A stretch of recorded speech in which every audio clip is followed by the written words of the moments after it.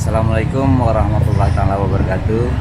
Jadi bertepatan tanggal 27 bulan 11 2021, alhamdulillah eh, resepsi pernikahan anak kami SU Lesti Erda bersama dengan Subha Subha eh, kami mohon eh, seluruh keluarga dan eh, yang lain-lain mohon doa restu. Semoga dalam acara ini berjalan sesuai dengan rencana.